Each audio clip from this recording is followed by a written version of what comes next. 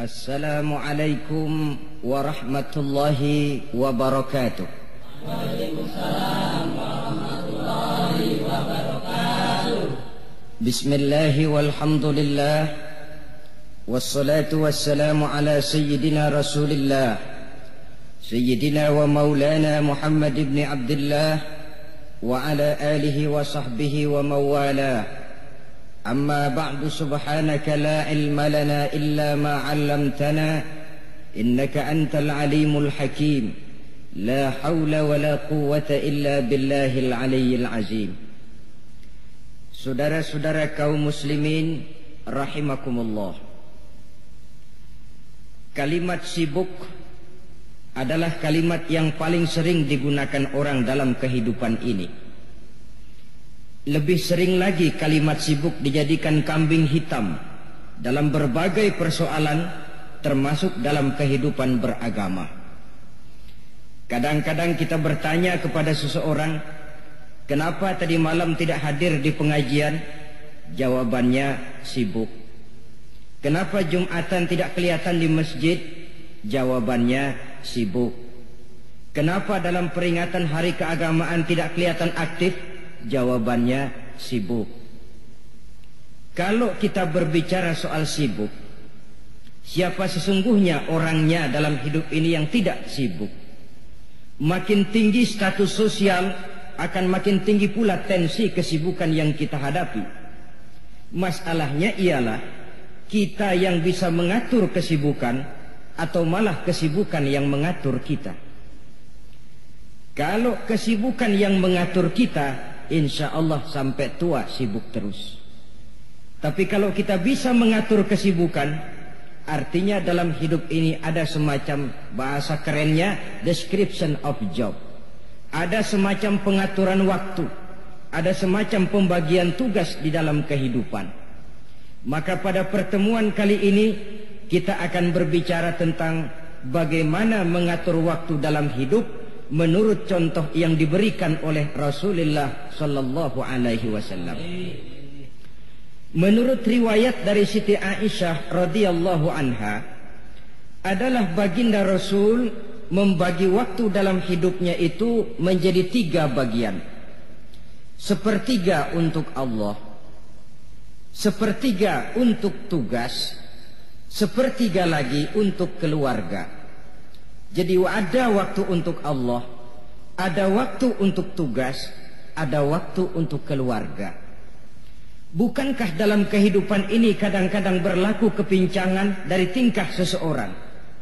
Ada orang yang seluruh waktunya cuma untuk Allah saja. Tugas dilupakan, keluarga terlantar, itu bukan orang yang terbaik. Ada orang yang waktunya habis cuma demi tugas saja, dari pagi sampai pagi lagi kalau tidak di belakang meja ia rapat saja kerjanya. Allah dilupakan sujud tidak sempat keluarga terbengkalai itu juga bukan orang yang baik. Ada juga orang yang waktunya cuma untuk keluarga kerjanya ngumpul saja. Seperti bahasa Inggris bilang mangan ora mangan pokoknya ngumpul bermasyarakat tidak sempat sujud tidak pernah dengan kehidupan beragama jauh ini pun bukan orang yang terbaik. Orang yang baik ialah orang yang pandai mengatur waktu. Itu tadi cara baginda mengatur waktu dalam kehidupannya. Selanjutnya bagaimana cara beliau mengisi waktu? Apa pengaruhnya dalam pribadi dan perjuangan beliau? Dan apa hubungannya dengan kita Mari kita lihat lebih jauh. Sepertiga dari waktunya adalah untuk Allah. Artinya untuk beribadah kepada Allah. Bagaimana ibadahnya? Saudara-saudara, satu-satunya manusia yang dalam Al-Quran sudah mendapat jaminan ampun dari seluruh dosa yang pernah dikerjakan cuma Rasulullah orangnya. Quran yang menjanjikan liyaghfira lakallahu ma taqaddama min dzambika wa ma ta'akhkhar wahai Muhammad dosamu yang dahulu dosamu yang sekarang dosamu yang akan datang kalau memang ada seluruhnya sudah mendapat jaminan ampun dari Allah Subhanahu wa taala Orang yang nyata-nyata sudah mendapat jaminan ampun dari segala dosa ini, ibadahnya luar biasa. Luar biasa bagaimana?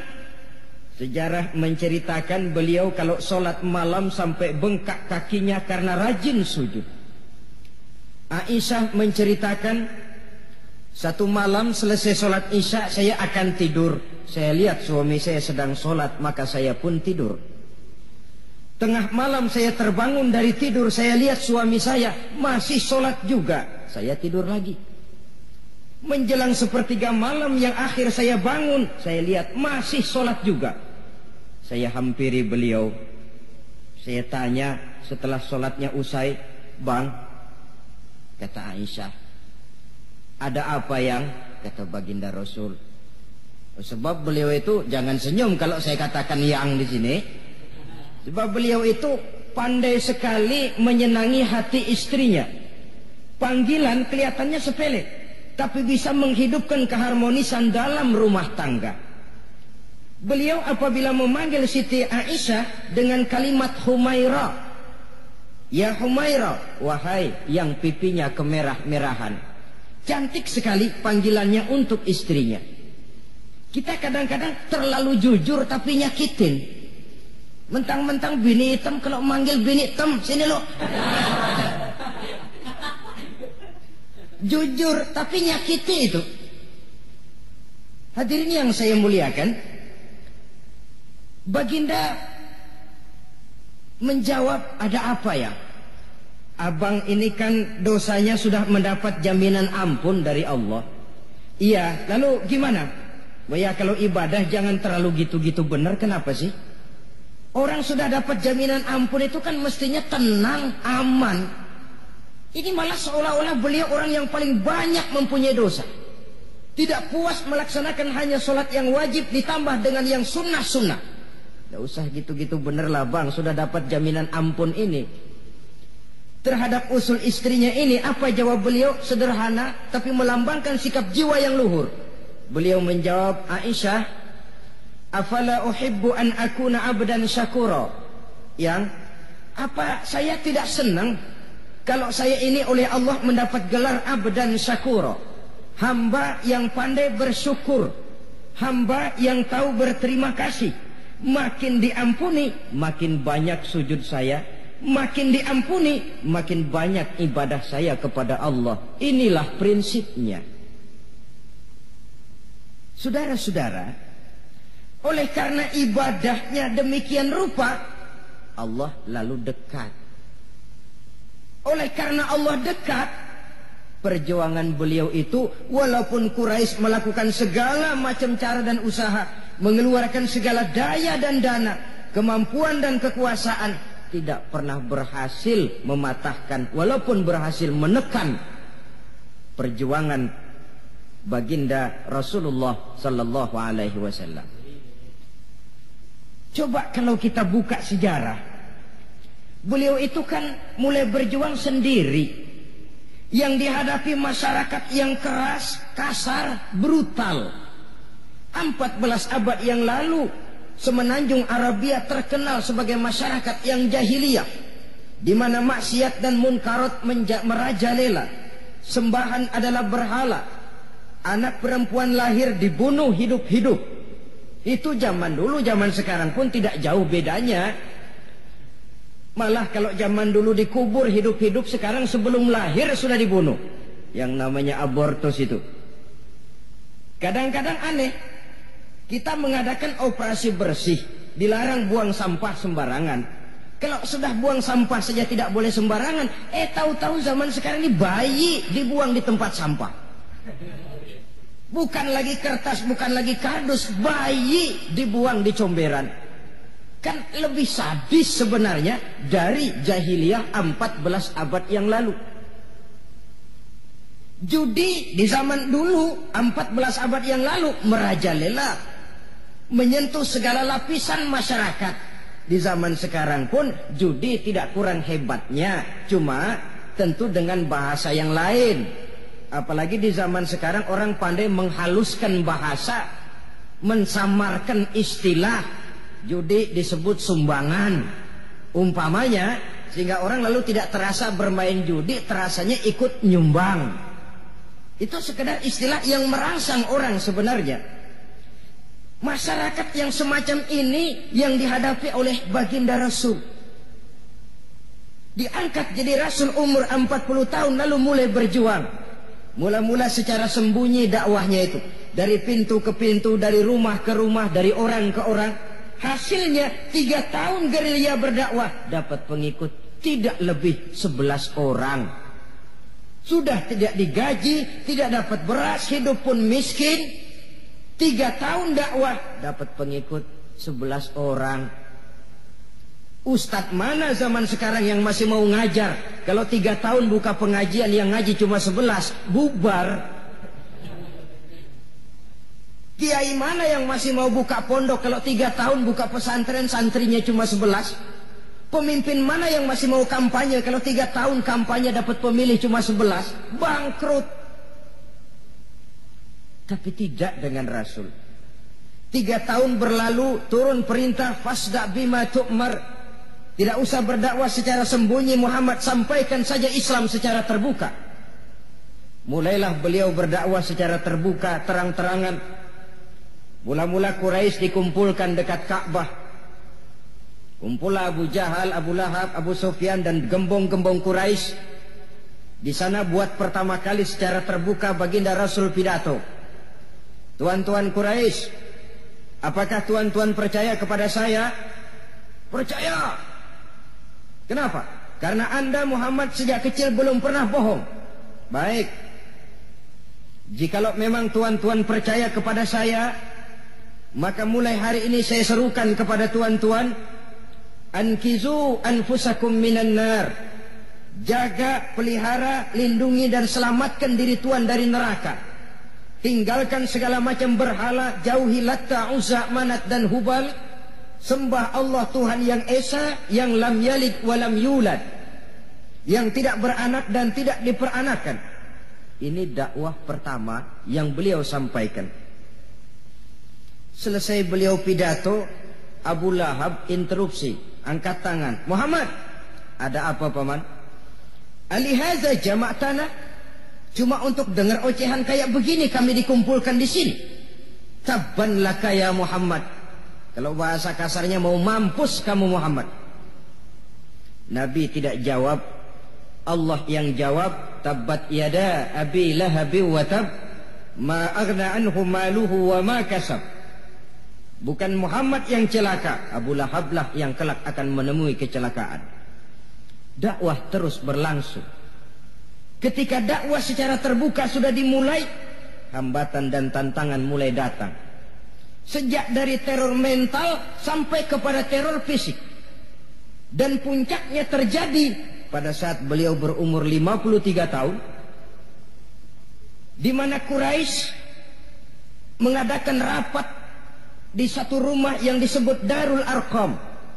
Kumpulah di situ dedengkot-dedengkot Quraisy. Siapa lagi kalau bukan Abu Jahal, Abu Lahab? Mereka rapat rapat pleno lengkap. Setelah rapat dibuka, kata Abu Lahab kepada Abu Jahal, Jahal, bagaimana ini Muhammad? Iya bagaimana? Apalagi yang belum kita lakukan, kata Abu Jahal. Kita fitnah sudah. Kita caci maki tiap hari. Kita lontari kotoran onta. Sahabat-sahabatnya kita bantai. Tapi mereka tetap tegar. Iya kata Abu Jahal.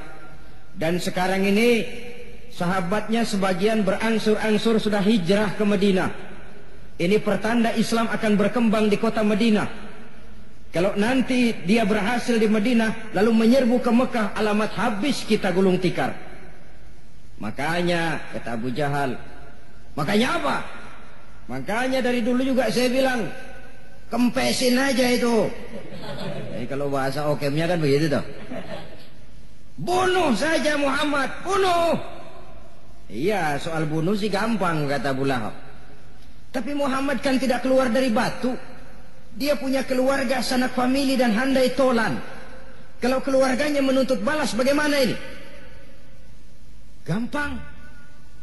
Kita kan banyak punya suku, tiap-tiap suku kan punya juara, tukang-tukang pukul. Sewa saja, tiap suku ambil tukang pukulnya, kita kepung rumah Muhammad, bunuh sama-sama. Kalau keluarganya akan menuntut balas, dia akan berhadapan dengan seluruh suku yang ada di semenanjung Arabia ini. Bagaimana setuju? Setuju. Nah, udah. Kapan kita bunuh Muhammad? Kapan lagi? Tidak usah buang waktu. Besok malam. Ya, besok malam kita bunuh Muhammad. Tapi awas, semua yang ikut rapat di sini ingat baik-baik, ini rahasia negara. Besok malam kita akan membunuh Muhammad. Siapa yang berani membocorkan rahasia negara ini, supersip. Dianggap menghambat program Quraisy. Itu nanti dijatuhi hukuman berat ya. Jaga rahasia baik-baik bahwa besok malam kita akan membunuh Muhammad. Sanggup? Sanggup. Rapat selesai. Hadirin boleh bubar ke rumah masing-masing. Pulang. Namanya manusia. Bocor juga rahasia ini. Begitu pulang. Cerita sama istrinya. Bu. Anu loh bu. Apa pak? Saya tadi ikut rapat. Rapat apa tuh pak? Besok malam akan ada pembunuhan. Pembunuhan. Pembunuhan. Siapa toh yang mau dibunuh? Muhammad. Tapi jangan bilang-bilang ya. Ini rahasia negara. Ini rahasia negara bu. Jangan bilang-bilang. Iya pak, iya. Nah besok pagi istrinya ngobrol sama tetangganya. Mbak Ayu tahu nggak?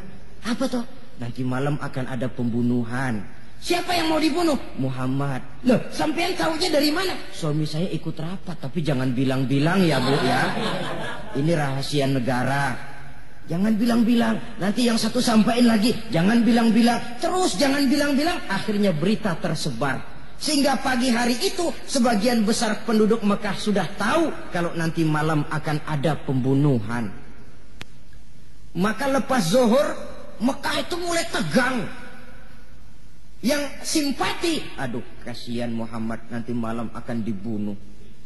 Yang tidak senang, mampus biar dia rasain. Tar malam Saudara-saudara, begitu maghrib berbunyi sudah, udara mulai gelap, penduduk Mekah sudah kunci pintu seperti ada jam malam.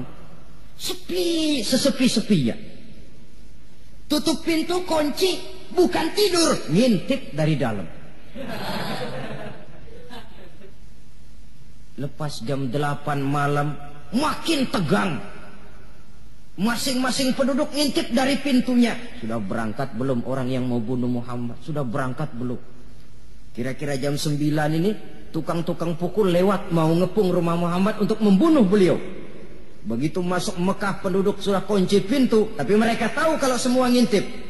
Wah makin hebat ini yang pemuka Quraisy ini. Tukang-tukang pukul ini. Jalannya dibuat gagah-gagah. Barisnya dibuat hebat-hebat. Itu injekan tanahnya dalam baris dibuat kenceng-kenceng. Brok brok brok brok. Kayak serdadu baris. Lewat dekat rumah penduduk pakai batuk lagi. Yang dari dalam ngintip makin ciut. Wah ini dia yang mau bunuh Muhammad ini sampai di rumah Nabi dikepung rumah Nabi di pagar betis Malam itu di dalam rumah cuma Nabi, Abu Bakar dan Ali bin Abi Thalib. Nabi tahu rumahnya dikepung. Lewat tengah malam beliau berkata, Abu Bakar, saya ya Rasul. Mari kita berangkat hijrah. Baik ya Rasul. Ali, saya ya Rasul. Kamu gantikan saya ya. Gantikan apa ya Rasul? Gantikan tidur di tempat tidur saya. Baik ya Rasul. Masya Allah. Sekali menggantikan, menggantikan mati. Tidur di tempat tidur Rasul pada malam rumahnya dikepung, resikonya kan mati. Menggantikan mati. Lah kalau menggantikan lurah lumayan. Menggantikan mati. Dan Ali tahu persis resikonya. Dan beliau waktu itu masih muda dan beliau tidak nawar. Baik ya Rasul, saya akan tidur di sini berangkatlah tuan. Berangkat Rasul ketika keluar dari pintu belakang rumah dikepung rapat terjadilah keajaiban yang Allah ceritakan wa ja'alna min baini aydihim sadda wa min khalfihim sadda fa fahum la yubsirun di muka di belakang di kiri kanan Dibuatkan dinding oleh Allah, dibutakan mereka. Mereka tidak lihat kalau Muhammad keluar dari rumahnya. Siaga penuh. Apa? Mata melotot, Nabi lewat nggak kelihatan. Sampai Nabi kemudian menuju Gua Sur, tiga malam dua hari di sana. Dari sana perjalanan dilanjutkan ke Madinah Al-Munawwarah. Allahu Akbar. Mengarungi gurun pasir yang gersang dan tandus yang terbentang antara Mekah dan Madinah. Meninggalkan kampung halaman tempat di mana dilahirkan dan dibesarkan. Keluarga yang berbeda akidah terpaksa berpisah. Kok kuat? Kok bisa? Kok sanggup? Di mana rahasia kekuatannya? Beliau punya sandaran vertikal. Ibadahnya kepada Allah. Dengan bahasa kita sekarang, beliau punya backing backingnya tidak kepalang tanggung yang serba maha maka saya mengajak kepada seluruh kaum muslimin di zaman sekarang kan orang lagi main backing backingan ya nah, siapa yang punya backing punya jalu saya cuma mengajak kalau mau cari backing jangan kepalang tanggung carilah backing yang serba maha maha gagah maha tahu maha adil, maha bijaksana, maha segala-galanya. Dan dialah Allah subhanahu wa ta'ala. Saudara punya backing kolonel, tanggung. Nanti dia pensiun habis. Yang kolonel saja tanggung, apalagi yang kopral. Kalau mau cari backing, carilah backing yang serba maha Allah Azza wa Jalla. Caranya Caranya tentu dekat kepadanya. Untuk dekat kepadanya melalui jalur yang sudah diatur olehnya melalui Rasulullah Sallallahu Alaihi Wasallam, yaitu solat ibadah. Makin tinggi nilai ibadah, makin dekat kita dengannya. Makin dekat dengannya, makin banyak fasilitas yang akan diberikan untuk kita. Saudara pegawai negeri, ingin cepat naik golongan, itu caranya dua. Pertama, jam kantor disiplin. Jam 7 masuk, masuk. Jam 3 pulang, pulang. Kalau belum jam pulang, jangan pulang. Yang kedua, tambahan di luar jam kantor, sering-sering datang ke rumah kepala bagian. Apa malam minggu, apa hari minggu, apa bawa jeruk, apa pisang ambon, kan begitu toh. Ini nanti kan kepala bagian kan nilai karyawan saya yang satu ini jam kantornya disiplin, tambahan dia sering datang hari Minggu di luar jam kantor bawa jeruk lagi. Ini mestinya belum naik lah gue naikin dulu ke atas.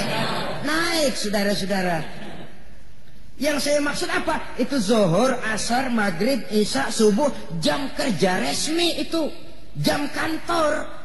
Lah ada kunjungan di luar jam kantor. Yang namanya tahajud yang namanya hajat, yang namanya duha. Nanti kan Allah lihat, ini hambaku yang satu ini jam kantornya betul. Zohor, asar, maghrib, isya, subuhnya tepat. Tambahan di luar jam kantor, dia sering menghadap kepadaku. Nah hambaku ini aku angkat kau maqam mahmuda ke satu tempat yang terpuji. Kalau Allah yang ngangkat satu negara orang mau rendahkan kita, kita akan tetap tinggi.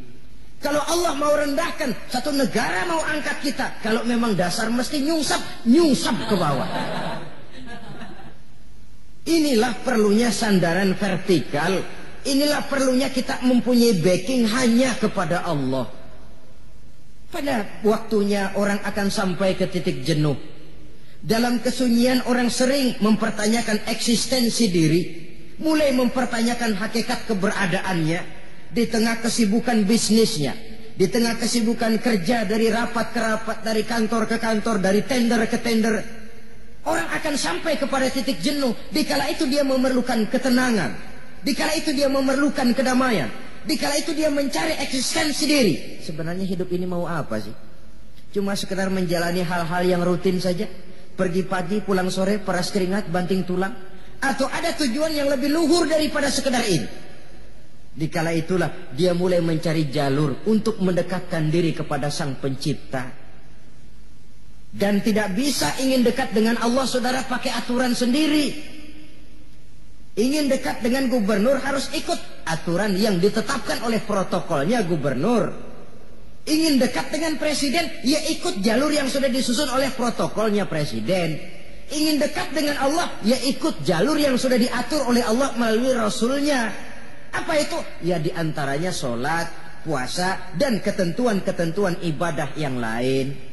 Tidak bisa dengan prinsip yang penting kan hati baik, berjiwa bersih, akhlak luhur. Tidak usah sholat kalau hati baik sudah dekat dengan Allah.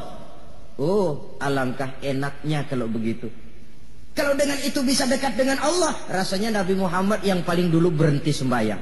Kenapa? Beliau orang yang hatinya paling baik. Beliau orang yang budinya paling luhur. Kalau budi luhur dan hati baik sudah menjamin untuk dekat dengan Allah, Nabi dulu berhenti sholat. Nyatanya tidak. Beliau orang yang berbudi luhur, berakhlak baik, entoh ibadahnya demikian rupa. Dan beliau adalah standar untuk kita jadikan contoh dalam mengamalkan ajaran-ajaran agama di kehidupan kita ini. Saudara, itu tadi sepertiga waktu beliau untuk ibadah, untuk Allah. Sepertiga yang kedua dari waktu beliau adalah untuk tugas. Dalam hal ini, sebagai seorang rasul, menyampaikan risalah Islam berhadapan dengan umat. Yang jadi soal ialah apa modal utama beliau di dalam melaksanakan tugas dan ini nanti sebagai cerminan buat kita. Modal utamanya pertama adalah keteladanan dan yang kedua adalah akhlak. Sekarang ini kita hampir nyaris mengalami berbagai macam krisis. Yang paling santer kita dengar adalah krisis wibawa. Ada pak guru dicegat muridnya di jalanan dipukulin karena nggak naik kelas katanya. Nampaknya guru tidak lagi berwibawa. Di satu pihak mungkin karena si guru tidak bisa digugu dan ditiru. Di lain pihak juga murid tidak lagi mengenal arti rasa hormat kepada pak guru. Nah, kenapa krisis wibawa timbul? karena tidak ada keteladanan. Adapun Rasul wibawa beliau timbul di tengah umat karena keteladanan ini. Apa pun yang beliau ajarkan kepada umat, beliau adalah pelaksana pertama. Dengan kata lain, satunya kata dan perbuatan. Ini yang sangat diperlukan di zaman kita sekarang. Bukan cuma sekedar simposium, muktamar, kongres, rapat besar, dengan keputusan bertumpuk-tumpuk kertas di atas meja tetapi tidak pernah terrealisir dalam kehidupan. Yang kita perlukan adalah satunya kata dan perbuatan bahwa kalau itu yang diucapkan itu yang diterapkan. Kalau itu yang diteorikan itu yang dikerjakan. Keteladanan yang kedua rahasia sukses beliau dalam melaksanakan tugas berhadapan dengan umat akhlak Beliau tidak menyampaikan Islam ini dengan kekerasan, tidak juga dengan bujuk rayu harta, tidak pula dengan menakut-nakuti orang. Belum pernah kita baca dalam sejarah beliau teriak-teriak, awas yang tidak masuk Islam dipecat jadi orang Arab. Tidak. Atau dengan bujuk rayu, ayo siapa masuk Islam super mie dua bungkus. Tidak. Sebab kebenaran tidak bisa dipupuk dengan materi. Kebenaran adalah soal keyakinan dan keyakinan adalah soal batin. Orang yang beragama karena tertarik kepada supermi. Orang yang beragama karena tertarik kepada pakaian, kepada obat-obatan. Nilai imannya dipupuk dengan materi. Dan usaha seperti itu sama saja dengan menegakkan benang basah. Dia percaya kepada sesuatu yang dia tidak mengerti. Dia yakin kepada sesuatu yang dia tidak tahu apa bentuk yang dia yakini itu. Alangkah malang dan kasihannya orang yang beragama seperti ini. Tidak demikian dengan Rasul. Islam ini adalah satu keyakinan.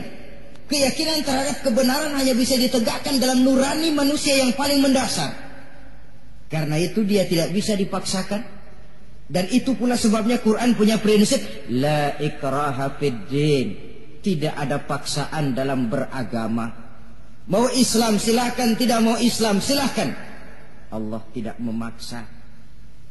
Tapi ayat ini jangan disalah pakai. tidak pernah sholat ditanya orang kamu kan Islam kok tidak sholat eh la ikroha fiddin dong salah pakai yang tidak ada paksaan dalam beragama itu untuk orang di luar Islam kepada tuan-tuan di luar Islam la ikraha fiddin tidak ada paksaan masuk Islam tapi kalau sudah masuk ke dalam Islam maka berlaku peraturan Islam contohnya begini saja tidak ada paksaan masuk ke rumah saya. Gitu. Mau masuk silahkan, tidak mau masuk tidak ada urusan. Tapi sekali saudara masuk ke rumah saya, saudara harus ikut tata tertib yang ada di dalam rumah saya. Kira-kira beragama itu begitu. Tidak ada paksaan masuk Islam. Tapi sekali saudara masuk Islam, maka berlaku peraturan Islam untuk kehidupan saudara. Jadi la ikraha ini buat orang di luar garis. Allah tidak maksa-maksa orang mau masuk Islam mau tidak. Silahkan saja. Tapi ketika orang mendapat hidayah masuk ke dalam Islam, peraturan Islam berlaku dalam kehidupannya. Saudara hadirin, kaum muslimin rahimakumullah. Akhlak. Mari kita lihat lebih jauh bagaimana sih akhlak beliau yang mulia itu. Allahu Akbar. Kalau orang berakhlak kepada teman, itu sih biasa. Tapi berakhlak kepada musuh ini yang luar biasa. Ini yang agaknya Allah saja memuji beliau wa innaka la'ala khuluqin azim. Engkau Muhammad benar-benar berada di atas budi pekerti yang luhur dan terpuji. Kalau saya baik kepada orang yang memang baik kepada saya, logis toh. Wajar, memang harusnya. Tapi berbuat baik kepada orang yang jahat terhadap saya, ini yang tidak setiap orang bisa. Nah, sebab itu saya tidak ingin menceritakan akhlak beliau kepada sahabat, namanya juga kepada sahabat. Saya akan kutip beberapa riwayat yang menceritakan bagaimana akhlak beliau kepada orang yang nyata-nyata memusuhinya. Berbagai riwayat menceritakan bagaimana beliau ketika di dilontari orang dengan batu yang melontari beliau malah mendapat doa Allahumma hdi qaumi fa innahum la ya'lamun. Ya Allah berikan hidayah. Berikan petunjuk kepada yang mereka yang melontari saya dengan batu karena mereka tidak tahu. Kalau saja mereka tahu mereka tidak akan melontari saya dengan batu ya Allah. Berikan hidayah kepada mereka. Padahal ketika itu malaikat Jibril menawarkan jasa Muhammad, kalau kamu mau orang yang melontari kau dengan batu itu hancur, saat ini juga saya angkat Jabal Uhud, saya timpakan mereka biar mati semua. Mau Muhammad? Jangan Jibril, mereka tidak tahu. Kalau saja mereka tahu, mereka tidak akan melontari saya dengan batu. Lebih baik doakan mereka supaya mendapat hidayah dari Allah. Dalam kondisi kepepet, Dilontari dengan batu, malaikat Jibril datang menawarkan jasa. Beliau lebih memilih mendoakan orang yang berbuat jahat itu. Ya Allah, bukan main. Umumnya kita kan kalau lagi kepepet ada yang nolongin girang bener. Andai kata kita yang jadi nabi disambitin orang datang malaikat Jibril nawarin bagaimana sikat abisin aja dah.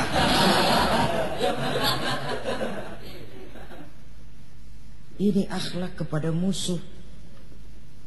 Ketika beliau selesai sholat zuhur, istirahat rebah-rebah, tidur-tiduran di bawah pohon kurma, datang orang kafir yang bernama Daksur yang sudah lama mengintip-ngintip, mencabut dan menghunus pedang. Muhammad, kalau ini saat saya tebas batang lehermu, siapa yang akan menolong engkau? Tidak ada. Yang akan menolong saya Daksur? Iya, Allah yang akan menolong saya. Mendengar Allah Daksur gemetar Keringat dingin bercucuran, pedang jatuh ke bawah. Diambil oleh Rasul pedangnya. Dibalikan ke leher Daksur. Kalau sekarang saya yang tebas batang lehermu Daksur. Siapa yang akan menolong kamu? Tidak ada ya Rasul kecuali kalau kau mau, memaafkan saya. Baik. Ambillah kembali pedangmu. Kau saya maafkan dan jangan ulangi lagi perbuatan semacam ini. Lain saat beliau sedang tawaf. Tawaf. Diikuti oleh seorang Quraisy kafir Sambil tawaf, ini kafir Quraisy sudah bawa pisau. Dia pikir nanti di satu sudut yang agak gelap saya tikam Muhammad dari belakang. Saya bunuh dia. Jadi kafir ini pura-pura ikut tawaf. Jahatnya orang kafir itu kan begitu. Tawaf ya ikut pura-pura tawaf. Ada kesempatan sikat dari belakang. Putaran pertama belum ada kesempatan. Putaran kedua makin tegang. Pokoknya begitu tempat agak gelap. Cabut pisau. Antam saja sudah Muhammad biar mati sekali di sini. Dan Nabi tahu. Oh ini asisten pribadi malaikat Jibril ngasih tahu tuh. Jadi malaikat Jibril memberitahu, awas Muhammad itu di belakangmu orang cuma pura-pura tawaf. Dia bawa pisau mau bunuh kamu, hati-hati Muhammad Roger ganti gitu.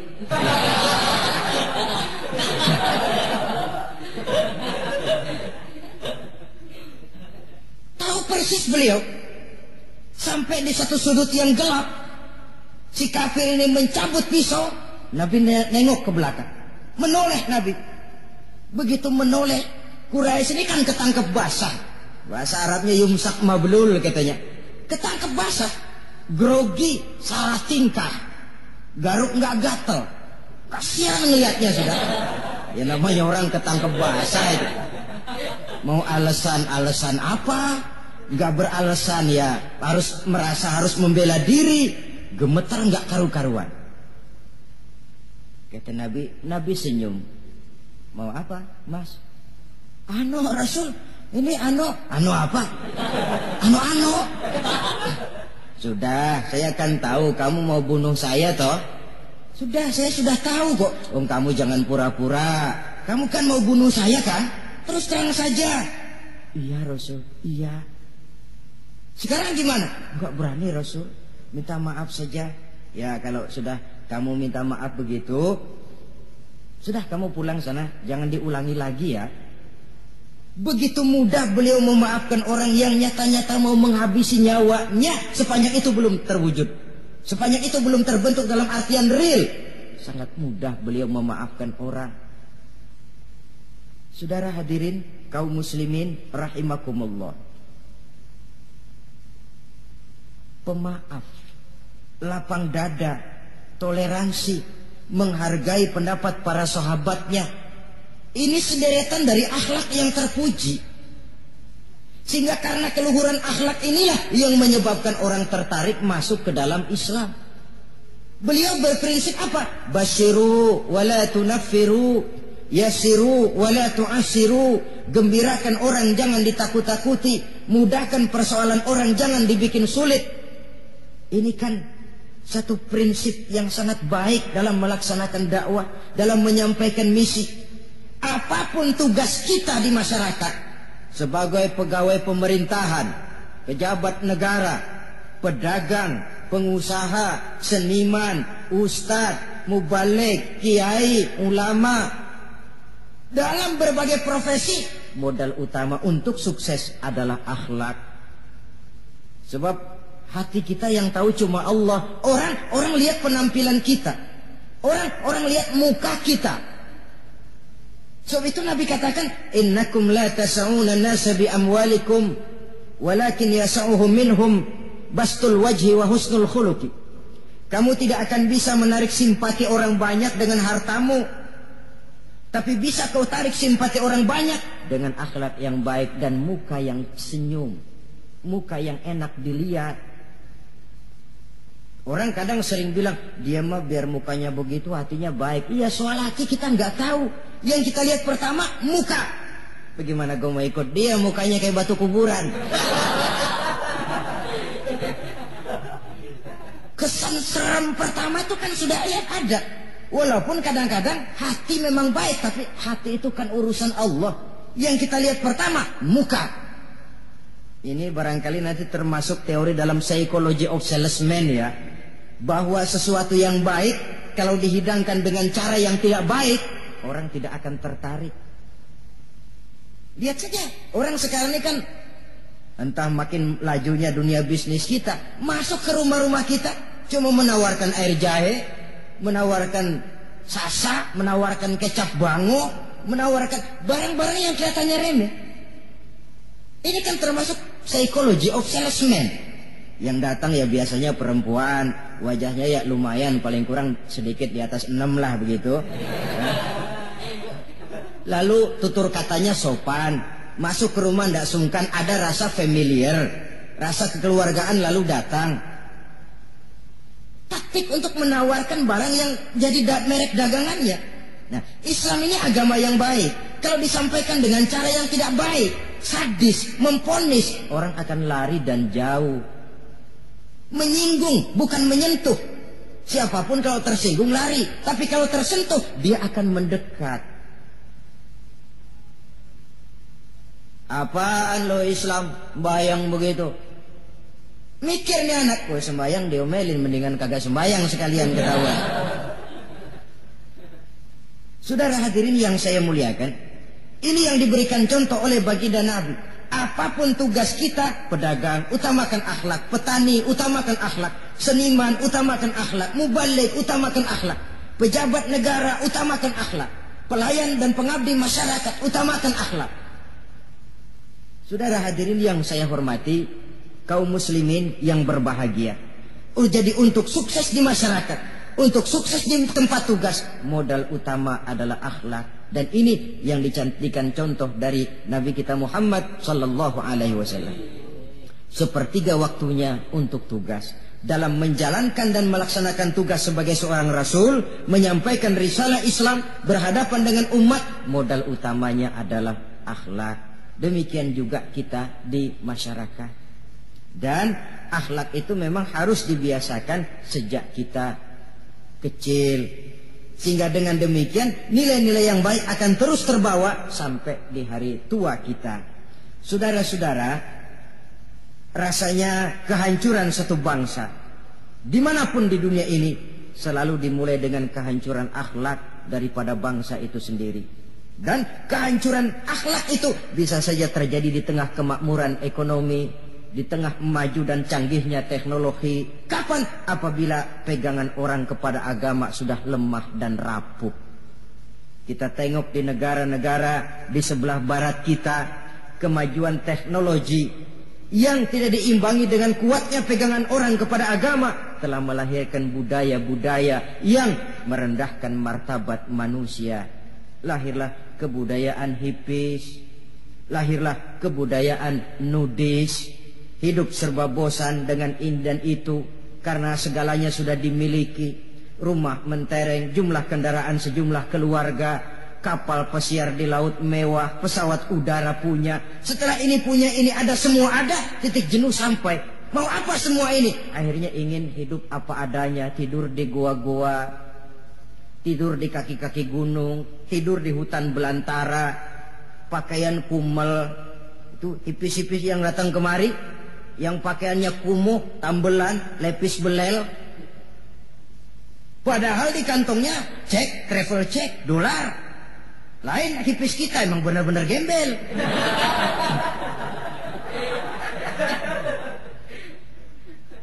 merasa jenuh, merasa bosan. Bahkan sebuah berita dari Jerman, orang terlalu kaya, pulau dibeli. Di pulau itu dia bikin satu klub yang bernama klub nudis. Setiap anggotanya boleh masuk ke pulau itu dengan catatan tidak boleh pakai pakaian selembar pun. Alias bugil. Telanjang bulat. Oh, sudah telanjang bulat itu. Dan di sana berlakulah apa yang disebut serba boleh. Jadi kalau di sana ke sana saudara bawa istri masuk anggota, ya silahkan saja istilah tukar pakai simpan pinjam bisa-bisa saja asal suka sama suka. Asal perbuatan yang dianggap tidak merugikan orang lain, suka sama suka, sudah tidak bisa dituntut oleh norma yang berlaku. Ya. Itulah sebabnya kita sering prihatin bahwa kemajuan sering membawa pergeseran nilai. Apabila kita tidak bisa menghindarkan diri dari proses pergeseran nilai, setidaknya kan kita bisa menjaga diri jangan sampai hanyut oleh nilai-nilai yang negatif. Akhlak baik sebagai muslim baik sebagai bangsa Indonesia yang berkepribadian luhur itu merupakan cerminan kita. Saya prihatin. Belum lama diselenggarakan kontes bibir terindah. Kontes bibir terindah itu kira-kira apa manfaatnya?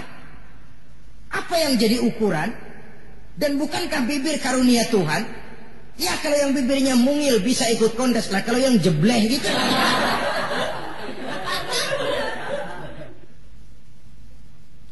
Kontes bibir terindah masih hangat dibicarakan orang, sudah muncul lagi kontes betis terindah. Nah kalau sudah bicara soal betis ini, kan yang terbayang oleh kita kira-kira ukurannya apa? Yang diukur itu apanya ya? Ya tentu betisnya itu. Nah paling celaka kalau betis-betis yang ikut itu nanti jadi milik panitia semua kan.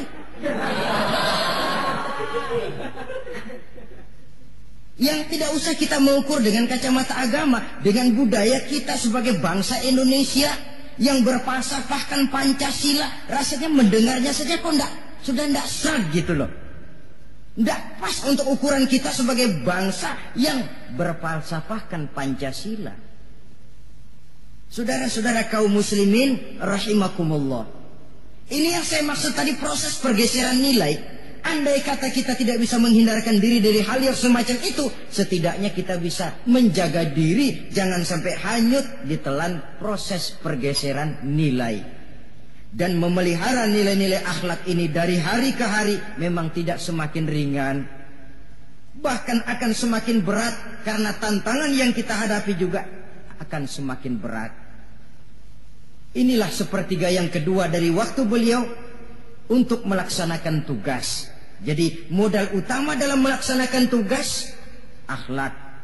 Di antara nilai akhlak itu prinsip Nabi tadi, gembirakan orang, jangan ditakut-takuti, mudahkan urusan orang, jangan dibikin sulit. Sehingga kalau yang memang mudah lalu dipersulit, itu sudah mencerminkan akhlak yang tidak diajarkan oleh Rasulullah sallallahu alaihi wasallam. Kemudian yang terakhir, sepertiga yang ketiga dari waktu beliau adalah untuk keluarga. Jadi tadi ada waktu untuk Allah, ibadah. Ada waktu untuk tugas. Dan yang ketiga ada waktu untuk keluarga. Bagaimana Rasul di tengah keluarganya? Anas bin Malik bercerita, saya 11 tahun membantu di rumah tangga Rasul. 11 tahun itu kan artinya 11 kali 360 hari kali 24 jam. Bukan waktu yang sebentar itu. Selama 11 tahun saya membantu di rumah tangga Rasul, kata Anas. Belum pernah saya dengar kata-kata kasar, keras, membentak. 11 tahun saya membantu di rumah tangga beliau. Belum pernah saya lihat ada piring terbang, ada bakyak melayang. Artinya apa? Cerminan dari ketentang, ketentraman, keayeman, kedamaian rumah tangga beliau. Padahal rumah tangganya kecil. Istrinya lebih dari satu. Tapi aman tentang rukun. Kita kadang-kadang istri satu seminggu tujuh hari, perang enam hari. Cuma satu hari gencatan senjata. Sudah hadirin, saudara kaum muslimin, rahimakumullah. Kalau beliau tidak menyenangi satu masakan, misalnya masakan istrinya, tidak mencah-mencah, cuma kelihatan dari makannya barangkali tidak begitu banyak. Tapi tidak pernah mencela apa pun yang dimasak istrinya. Senang ya dimakan, tidak senang ya dimakan karena menghargai lelah jerih payahnya istri. Ini kelihatannya sepele, tapi dari sini keharmonisan rumah tangga itu bisa saja timbul. Bukankah seseorang hanya bisa sukses di tempat tugas? Jadi apa pun dia, kalau berangkat dari ketentraman dan ketenangan di rumah tangga. Dan tidak ada orang bisa meraih sukses kalau dia berangkat dari rumah tangga yang berantakan. Itulah sebabnya ini sangat diperhatikan oleh baginda Rasul. Dari rumah yang kecil, dari tempat tidur yang sederhana. Yang sebelah itu kain kasar, sebelah dipakai untuk tidur, sebelah dipakai untuk selimut. Jadi kasur merangkap selimut. Allahu Akbar. Tapi dari rumah tangga yang semacam itu keluar ucapan baiti jannati, rumah tanggaku laksana surga bagiku. Di mana sih rahasianya? Karena rumah tangga beliau didirikan di atas ajaran agama, Agama membuat suami istri tahu hak dan tahu kewajiban. Kalau kewajiban dilaksanakan, hak diberikan, akan timbul saling pengertian. Apabila ada pengertian, akan timbul ketenangan. Dan ketenangan adalah tangga utama untuk mencapai rumah tangga bahagia. Apalah artinya? Seperti banyak istilah orang, rumah bertingkat, Uang banyak berlipat-lipat, kendaraan serba mengkilat, istri pun cantik memikat, kadang-kadang jumlahnya empat. Tapi tiap hari kiamat, tidak pernah ada ketenangan dan kedamaian di rumah itu. Saudara hadirin, lebih celaka lagi sudah rumah gubuk berantem melulu. Sudah kiamat itu sudah kiamat. Jadi dengan adanya pelaksanaan kewajiban, pemberian hak timbul pengertian. Pengertian membawa ketenangan. Suami keluar rumah, istri tenang di rumah. Suami meninggalkan istri pun hatinya tenang dan tentram, tidak was-was, tidak berpikiran nanti kalau saya lembur ini istri ngompreng, tidak. Si istri pun lega melepas suami karena ada keterbukaan. Ini ini kan menurut angket terakhir loh ya yang diadakan oleh beberapa majalah di ibu kota ini, di ibu kota katanya. Dari sejumlah laki-laki yang disebarkan angket ternyata jika ada tiga laki-laki dua nyeleweng. Jadi angka penyelewengan itu dua per tiga dari jumlah laki-laki itu menyeleweng katanya. Ya mudah-mudahan yang kumpul di sini termasuk sepertiga yang gak nyeleweng itulah. Dan tidak semua bentuk penyelewengan itu karena alasan ekonomi. Bukan pula karena alasan ketidaksetiaan istri. Tapi merupakan cerminan dari sikap hidup di mana orang jauh dari nilai-nilai agama sehingga penyelewengan itu dianggap sesuatu yang manusiawi. Biasa-biasa saja bahkan kadang-kadang ikut membentuk status sosial melahirkan kebanggaan. Innalillahi. Orang kalau sudah bangga nyeleweng nyeleweng bangga. Nah, itu kiamat sudah sama saja bikin dosa ketawa waduh itu malaikat gemes benar Udah bikin dosa cengengesan, cengar, cengir. Tidak ada rasa nyesel, tidak ada rasa takut, tidak ada rasa bersalah. Bis biasa gitu. Saudara hadirin yang saya muliakan. Ini kan cerminan dari rapuhnya pegangan orang kepada agama. Jadi untuk membina rumah tangga yang bahagia ini. Sepertiga dari waktu untuk di tengah keluarga. Menghidupkan nilai-nilai agama di rumah tangga kita. Oleh karenanya pada bagian akhir dari pertemuan yang singkat ini saudara-saudara. Saya mengajak marilah pandai-pandai membagi dan mengatur waktu. Ada waktu untuk Allah, ada waktu untuk tugas, ada waktu untuk keluarga. Syukur kalau ada keseimbangan. Tapi kalau tidak, istilah usul fikih itu tatimul aham minal muhim. Mendahulukan yang terpenting dari yang penting. Kalau ada tiga persoalan semuanya penting, tentu di antara tiga ini kan ada yang lebih penting. Dan itulah yang dikerjakan lebih dulu. Dan ini tidak berarti bahwa penjatahan waktunya harus sama. Untuk ibadah dalam sehari semalam sekian jam. Untuk tugas sekian jam. Untuk keluarga sekian jam. Tidak bisa kita targetkan begitu. Dan yang dimaksud di sini pun adanya pengaturan. Pengaturan tidak berarti bahwa harus sama waktunya. Tidak. Kita melihat kepentingannya. Saudara hadirin, sama saja di zaman sekarang, kalau dengan pembangunan kita ingin menciptakan pemerataan di kalangan rakyat, itu tidak berarti bahwa rakyat Indonesia ini standar ekonominya harus sama semua, seperti yang dicita-citakan komunis. Tidak bisa. Menciptakan pemerataan artinya, kalau yang kaya bisa semakin kaya, kenapa yang miskin tidak bisa naik jadi sedikit kaya? Dan artinya menciptakan kesempatan kepada setiap penduduk Indonesia untuk merubah tahap dan taraf kehidupannya. Demikian juga adanya pengaturan waktu. Bukan berarti untuk Allah sekian jam, keluarga sekian jam, tugas sekian jam. Sebab jam-jam ini sulit kita jatahkan. Kadang-kadang tugas, kadang-kadang keluarga, kadang-kadang ibadah kita sedang gandrung. Yang penting ada keseimbangan dalam cara kita mengatur waktu itu. Nah, saudara-saudara, Demikianlah pertemuan dan pembicaraan kita kali ini. Terima kasih atas segala perhatian. Mohon maaf atas segala kekurangan. Usikum wa nafsi bitaqwallah. Wassalamualaikum warahmatullahi wabarakatuh.